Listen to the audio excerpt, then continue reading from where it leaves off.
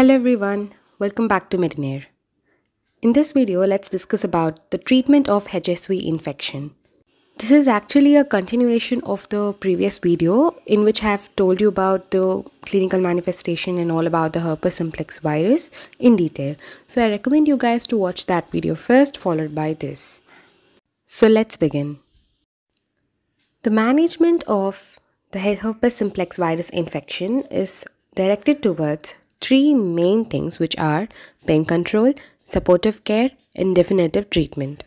Previously, the primary herpetic gingival stomatitis were treated with hydration and supportive measures. But however, the acyclovir family of drugs is inexpensive, safe and readily available. It is now appropriate to treat even the primary infections with the acyclovir because it reduces viral shedding and infectivity.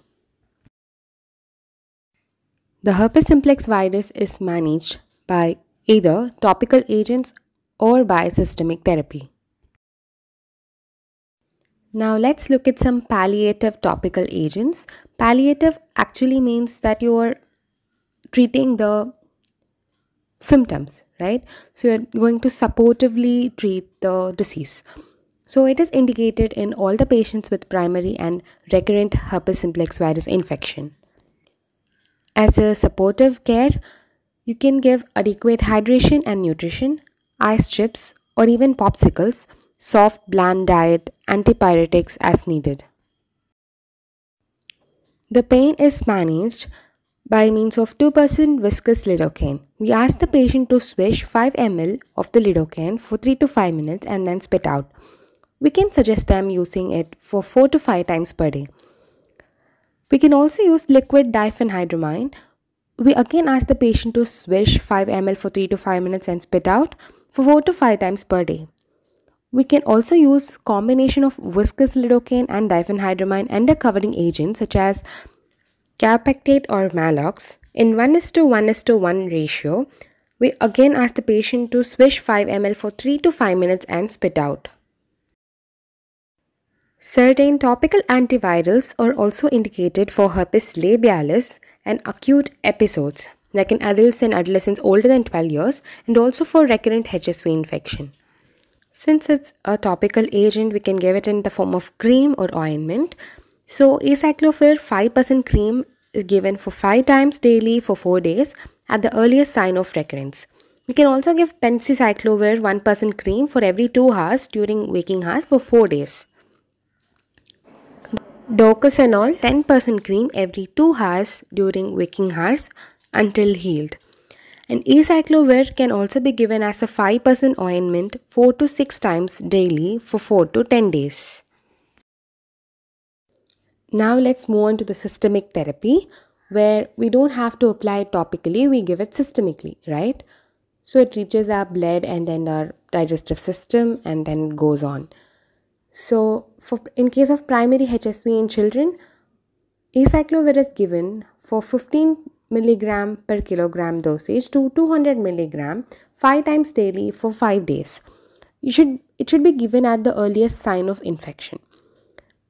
Whereas in case of primary HSV in adults, acyclovir is given for 200 to 400 milligram 5 times daily for 7 to 10 days.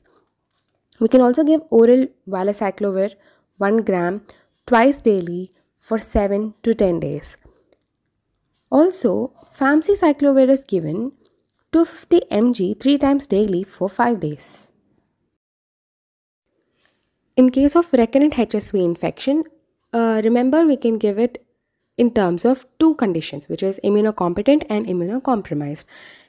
Both the same both the drug are same but the dosages and the regimens like the number of days we are going to give is differing. But easy to remember is we can uh, remember it is like acyclovir valacyclovir and famciclovir and the same goes to the immunocompromised as well. Then look at the range of the days given. It ranges from one day to seven days right?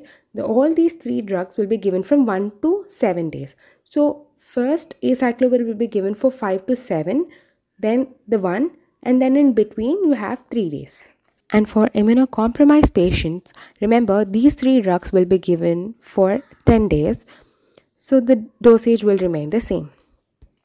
And in case of prophylaxis, both the immunocompetent host and the immunocompromised host will receive acyclovir and valacyclovir almost of the same dosage but the immunocompromised host will have a range between 400 to 800 for acyclovir and 500 to 1000 milligrams for valacyclovir based on how much immunocompromised they are right? The number of days given would remain almost the same like twice or thrice daily. And that brings us to the end of the video. I hope you guys found this helpful. Thank you for watching